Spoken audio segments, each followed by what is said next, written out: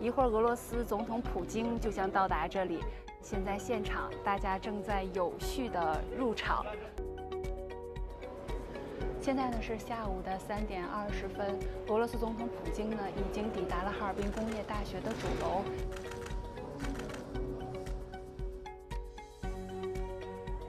二楼的展区展出的呢是哈尔滨工业大学的发展历程。工作人员正在给普京总统去做详细的介绍，啊，普京总统也是听得特别的认真。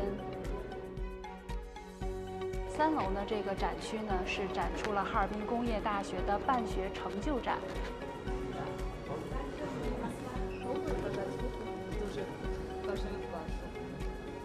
普京总统就要与师生在这里进行互动交流。